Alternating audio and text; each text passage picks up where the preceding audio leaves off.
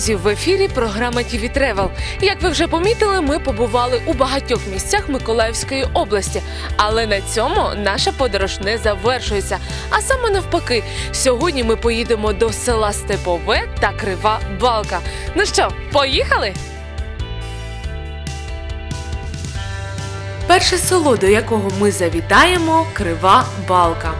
Село Крива Балка розташоване в 19 кілометрах на південний захід від міста Миколаєва.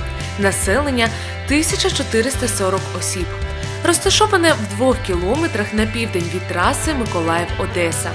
До 1960 року село називалося Рено, тому що виникло у другій половині 19 століття як маєток барона Рено. До речі, в цей раз я знову подорожую з Ігорем Мухарським, який вже став не тільки шанувальником нашої програми, але й співавтором. Ігор Мухарський, заступник голови Миколаївської районної ради, активно займається волонтерською діяльністю, очолює громадську організацію Перевізник. З багатьох джерел мені стало відомо, що це село має зелені газони, клумби, фонтани, нічне освітлення, гарні дороги, відеокамери і приємну для очей чистоту. Це не місто і не райцентр, а звичайне село Миколаївського району, але з європейським обличчям. Сьогодні я маю намір побачити все це на власні очі. Тож в першу чергу прямуємо до голови Кривобалківської сільської ради. Леонід Мухарський, Кривобалківський сільський голова, 1977 року народження, освіта середня спеціальна. В 2008 році був першообраний на посаду сільського голови. Як справжній господар нас зустрічає голова сільради, який втретє був обраний на цю посаду. І цей факт є найбільш красномовний. З його слів нам стало зрозуміло, що краще б ми приїхали влітку, коли можна помилуватись всією красою квітучого села. І водночас запевнив, що і взимку їм є що показати. Леонід Георгійович вже знав, що ми завітали до села, адже у нього в кабінеті є монітор, через який за допомогою багатьох відеокамер можна спостерігати за усім селом. Зручно з боку безпеки, правда ж? У нас была нужда взять э, центр села под наблюдение, потому что были разные происшествия, там что-то сельский совет строил, э, люди ломали, мы не могли определить. И после того сельским советом были выделены деньги, вот буквально уже три года у нас э, стоит в центре села 4, 4 и плюс 3, 7 камер видеонаблюдения. Ні в одному селі я ще не бачила таку серйозну систему безпеки, завдяки якій можна попередити небажані випадки. Мабуть, мешканці цього села відчувають себе набагато спокійніше. А ми вирушаємо до скверу, який є улюбленим місцем селян для сімейного відпочинку.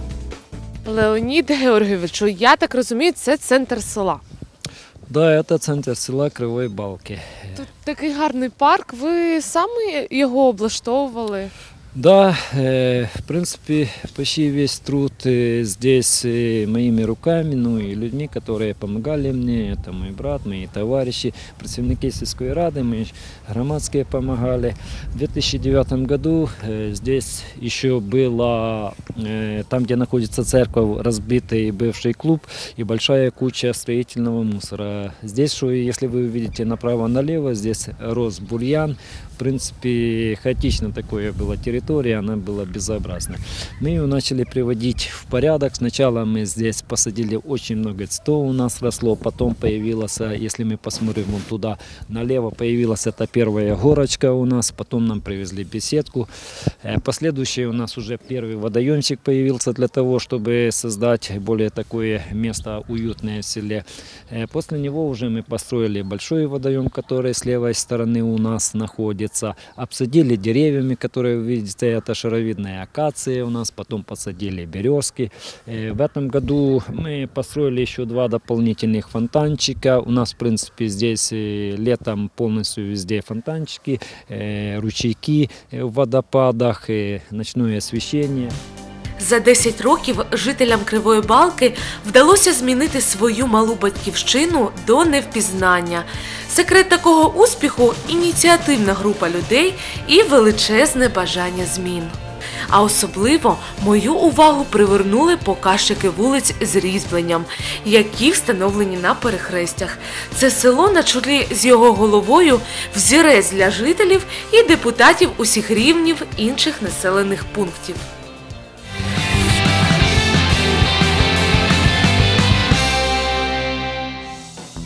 Кривій Балці добре, але ми прямуємо далі.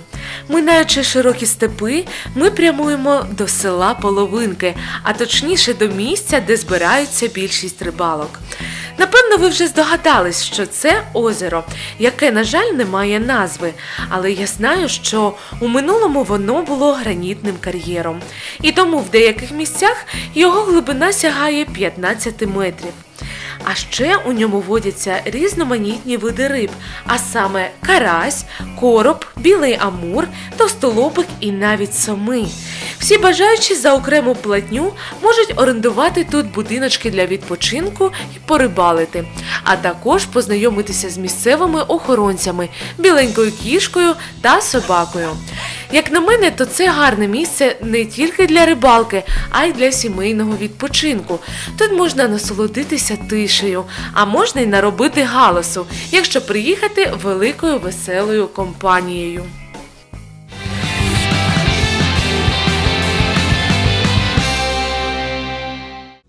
А ми продовжуємо подорожувати Миколаївщиною. На черзі село, яке має не тільки цікаву історію, але й історичні пам'ятки, які зберіглися до нашого часу. І все це вміщує в себе колишнє німецьке поселення Карлсроє, теперішнє село Степове. Це село утворено у 1811 році.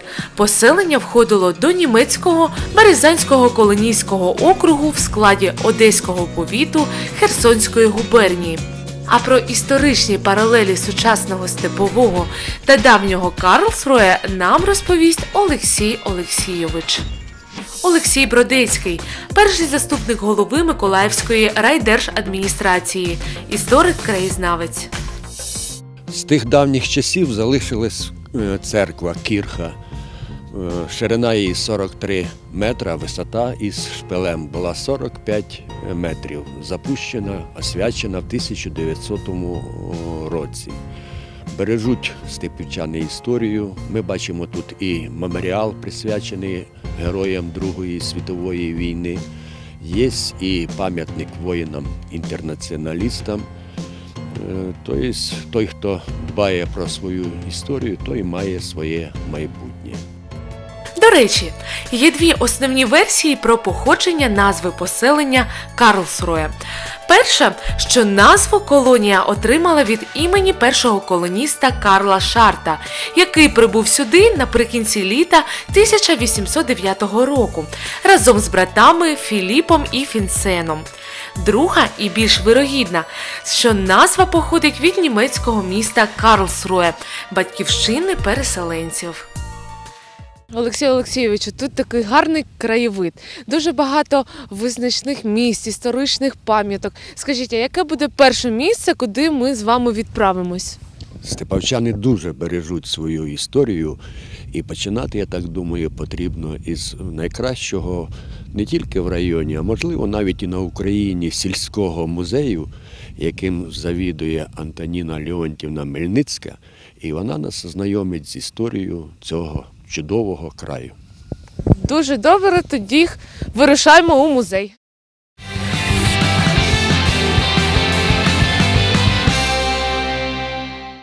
Антоніна Мельницька, керівник громадського народного музею історії села та господарства села Степове. Ось ми і приїхали до музею. Попереду найцікавіше.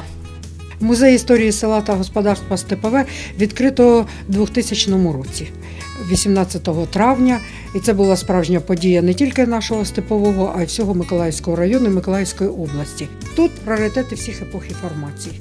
І, е, і експонати Терра Інкогніто, доба пізньої бронзи, 10-13 століття до нашої ери, історія заселення нашого краю німцями е, із земель Пфальц Баден Ельзас у 1809 році. Тут е, епоха колективізації, голоду, е, воєнних подій 1941-45 року. Тут наше післявоєнне будівництво, тут наше господарювання е, в радгоспі Степовий, який заснований якраз в цьому році 50 років. Ми відзначали ювілей в 1966 році.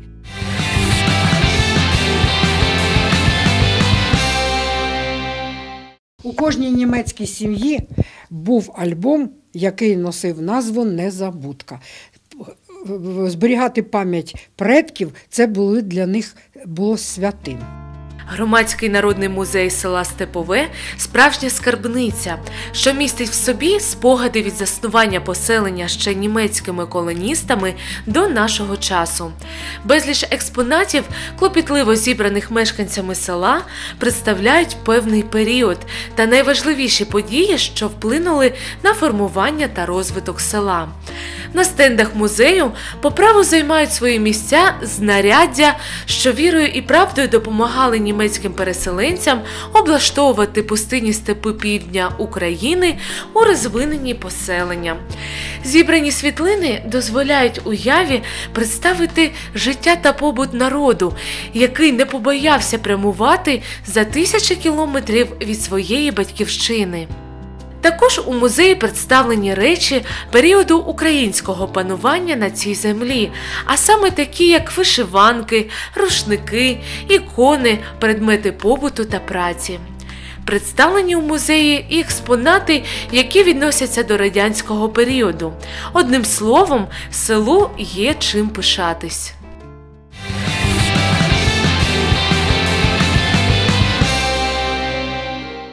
Україна вражає архітектурною величчю і красою своїх храмів та костелів. Багато з них відомі широкому загалу. Їх охороняють, пильнують і відновлюють. До них йдуть паломники й туристи. Однак є і інші святині, ті, про які забули сьогодні. Одна з них католицька кірха святого Петра і Павла. Ми знаходимося в центрі старого Карсруя на вулиці, яка носила назву Унтердорштрасе Обердорштрасе, е, біля церкви кірхи святих Петра і Павла, першоапостольних верховних. Е, Церква збудована у 1885 році. Завершено будівництво на місці старої. Тут було е, будівля е, церкви старої під очеретяною покрівлею, е, 6 метрів ширину, 10 метрів довжину. Ось, але не вміщала потреб, не могла задовольнити потреб всього населення, громада якого зростала. І тому було вирішено збудувати ось таку от кірху, яка є окрасою всієї Миколаївської області. Важливу роль у житті німецької громади посідала церква. Німці були глибоко віруючими людьми, дотримувалися традицій, звичаїв та обрядів. Храм завжди був центром релігійного, духовного, суспільного життя колонії, засобом збереження своєї культури на новій батьківщині. Церкву святого Петра і Павла будували протягом чотирьох років з 1881 до 1885 року за проектом архітектора Віктора Корфа, а керував будівництвом Фрідріх Селінджер. Кірха в Карлсруе оздоблена традиційними архітектурними елементами німецького церковного будівництва. Це трирівнева неготична споруда. Окрасою церкви були стрілчасті вікна та масивний механічний годинник. Купол дзвіниці прикрашав хрест 12 метрів заввишки. Сходи до храму починалися від самої брами, а подвір'я було огороджене білим парканом з великого каменю.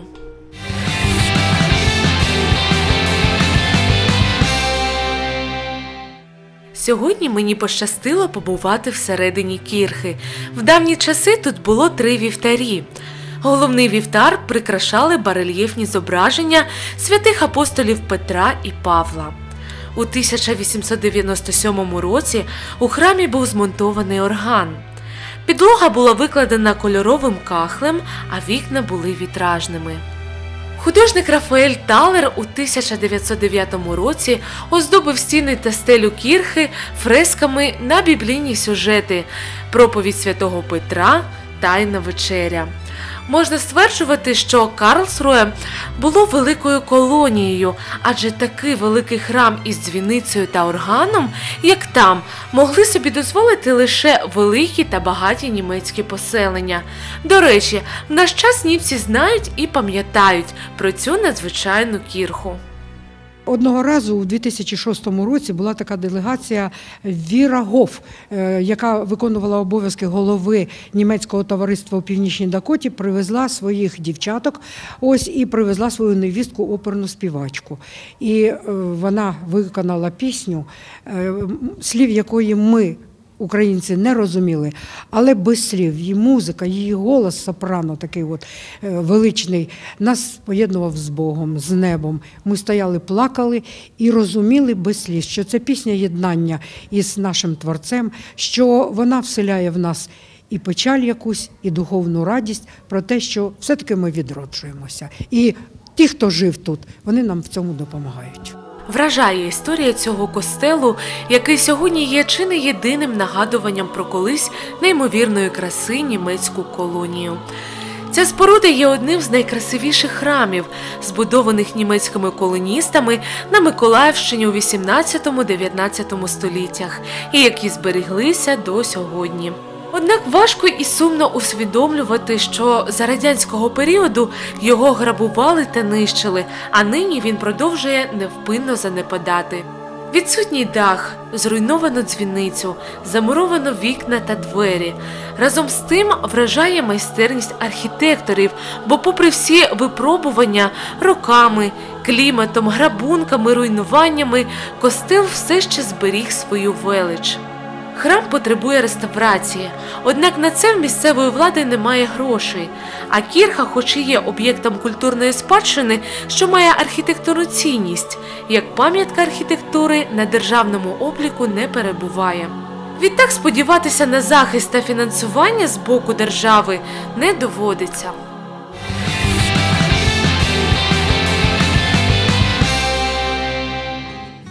Завершуючи свою подорож, я не могла не завітати до хати Ніли Жосан, місцевої мешканки, яка провела та показала нам підвал, що був побудований німецькими колоністами.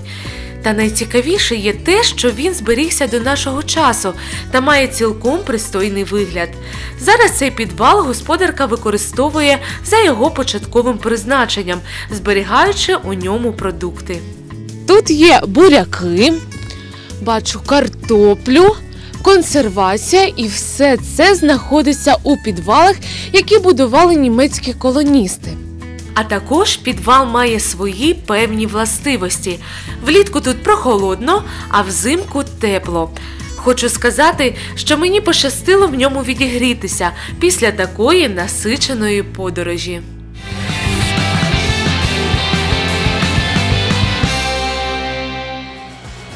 Що ж, це була інформативна та цікава програма. І я, затамувавши подих, вже чекаю нової подорожі. А з вами була програма TV Travel та я її ведуча Ольга Бережна. До зустрічі!